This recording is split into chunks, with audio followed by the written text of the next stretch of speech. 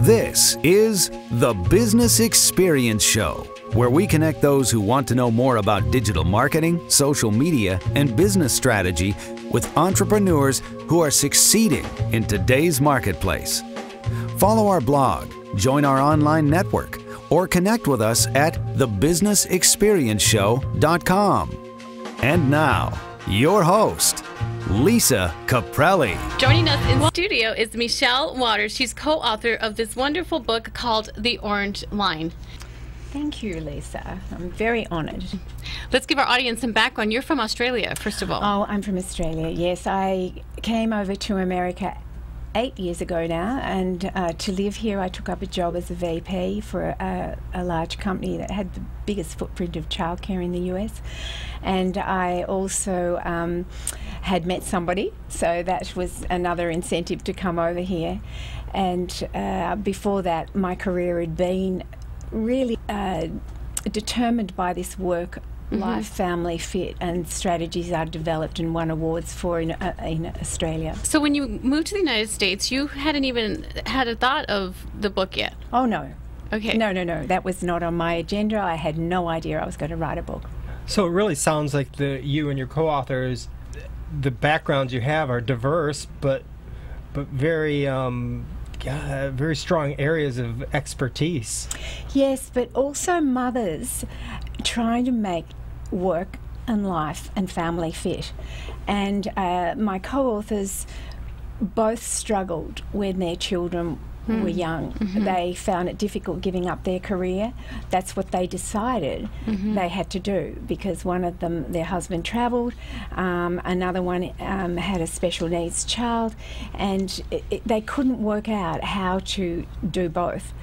I decided, um, because I love small children, it was really appropriate for me to set up a business that Oh. was was something I could be near my children. So I loved that stage of my life, and then parlayed into the corporate life after nine years. I was close to forty when I did that, whereas they weren't enjoying their time at home and couldn't work out for a number of years how to get back in. They did, but that delay, of course, jeopardizes a, a woman's finances. That jeopardizes their their um, re-entry. So you know, we, we heard these stories. We wanted to know how are women doing it, having it all, but how could they do have it all but not do it all? And the book is called The Orange Line and uh, A Woman's Guide to Integrating Career, Family, and Life. But um, there are a couple lines that you use in the terminology. So let's start with the green line. Well, the green line is a career centric focus. Um, so your career is all about work, and then other things take a, a, secondary priority for in your, you in your life. In your life, so it might be your art or you, you know, any other hobbies. You might sacrifice your hobbies. The doctor that um, that I go to, when I told her about the book, she was very sad because she decided she couldn't be a doctor, a wife, and have children. Mm. So she cho- chosen not to have children. Mm. So that sort of career centric focus often means someone else is supporting you and they're minimalizing their career. And so people who then leave that path, sometimes they make a swing, a complete swing in the other direction. They go the other extreme, and we call that the red line. And that's where they do opt out um, for a certain amount of time, and that's more like the woman I just talked about that, you know, opted out. Now getting back in is really hard, and they bounce around, they never get the power influence. Um, they never develop all those other parts of themselves, you know, which may be, you know, in terms of um, a career, something that they can contribute and offer. Uh, yeah, so it's it's about a middle line, and that's where you can have your career. It may um, be it may ramp up or, or, ramp down for a period of time, but you're you're staying on a, a, trajectory that is on track in the sense you are doing something that you really love. You might want to you know step out and and um, stay with the children for a bit, or you may want to uh, volunteer overseas. You're broadening your skills. But even if you're at home, there's some volunteer work thing you can get on a committee, and you're still developing other skills. So it's about saying, okay, this is what I love, this is what I want to do, this is how I'm going to maintain that. But um, it's much more a paced and building muscle over time approach that isn't going to lead to burnout. And it's where both people in a relationship can both have a career. I'll give you an example. Um, one woman who's an aeronautical engineer that we interviewed, her husband also is an engineer, decided that um, while the children are young, she's way back. Uh, she's actually uh, orbiting satellites around the globe at the moment, so she's full on. She's still breastfeeding, I might add, but it, it, you know, it, it, it's a very sort of taxing, tiring time. But she wants to take the time off when her children are in adolescence. So he's more supportive at this point. His career isn't progressing at the same rate he'd like, but they're going to switch. And there was many examples of what we call the the orange line. Um, a group of women who were doing this kind of middle um, approach, but having it all, but not doing it all. And what did they have that the others who don't have that have? I think they had a very strong sense of self worth. I think they had a strong sense of what their talents were and what they loved doing. And I know for myself, when I had a bout of cancer, people say, Oh, she's crazy, she's so driven. I loved work. I loved the project I was on.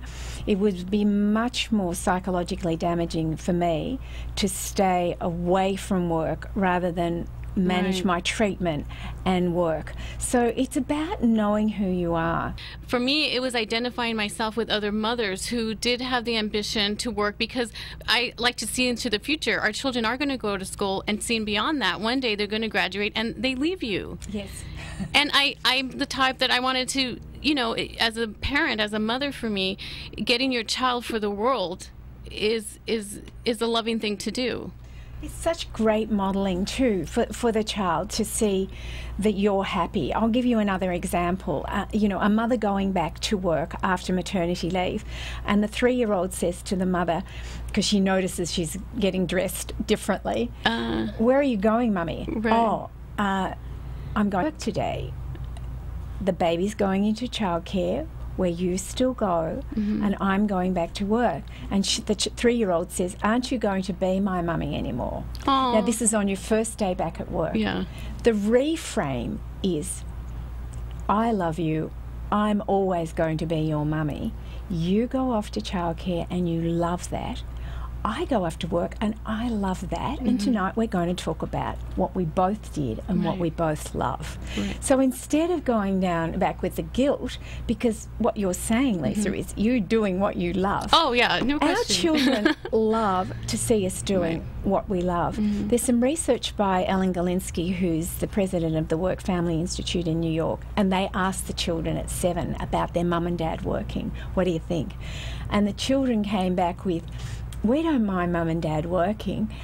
We don't like them to come home basically stressed, meaning you know, um, without time for us. That was the problem. We like mummy and daddy working because they could see the benefits. They children love their parents being happy.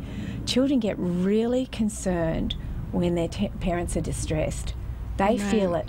They feel it's something to do with them. Mm. So they're the kind of mo- th- th- this is the reframe Right. and and not living up to everyone else's expectations. Right. You've got a drive and a passion for what you want to do. You should do it. If it is being a stay at, mum, at home mum, let those mums do that.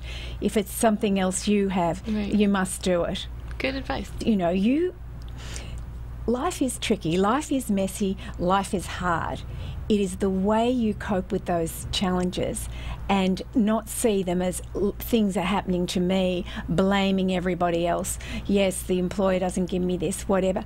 You go to a different employer, negotiate what you need. I've always found with my employment, if I say and I'm fair and I give back, the women that were doing this well would say, Look, I've got to, you know, or I've got to go and pick up my son early and there's somebody sick blah, blah. I'll jump online for it a bit later on and make sure I'm up to date with my emails. Employers are fine. Great. You know, they're human too. It's all a negotiation. I always believe men and women are totally complementary. We should be able to to work together. You know, I need you like you need me, Right. and we're just different, and so we need each other to collaborate and, and bring together strength. And I found this through actually through one of the Amazon reviews of, of the book, where it's not just working women. Uh, th- There's a woman who's retired, and she really enjoyed helping her understand sort of the dynamics that had taken place and the choices she had made. Yes, um, yeah, I think it, it resonates with a lot of women because they, they every, on al- almost every page they can say, "Oh, I could have responded that way, or I, sh- I should have, you know, uh, done it this way." But the other thing is, women are working a lot longer these days because you know. A, that we're living longer, and B, we don't often have the finances to sustain ourselves. So there's a lot of women we met that are in transition for a whole new career.